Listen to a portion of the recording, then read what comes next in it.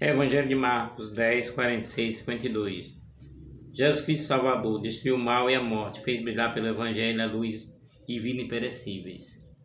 Naquele tempo Jesus saiu de Jericó junto com seus discípulos e uma grande multidão. O filho de Timeu, Bartimeu, cego e mendigo, estava sentado à beira do caminho. Quando ouviu dizer que Jesus, o Nazareno, estava passando, começou a gritar: Jesus, filho de Davi, tem piedade de mim. Muitos repreendiam para que se calasse, mas ele gritava mais ainda: Filho Davi, tem piedade de mim. Então Jesus parou e disse: Chamai-o. Eles chamaram e disseram: Coragem, levante-se, Jesus chama. O cego jogou o manto, deu um pulo e foi até Jesus. Então Jesus lhe perguntou: O que queres que eu te faça? O cego respondeu: Mestre, que eu veja. Jesus disse: Vai, a tua fé te curou.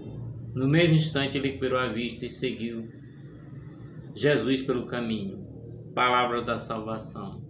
Glória a vós, Senhor. Que pelas palavras do Evangelho sejam apagados os nossos pecados.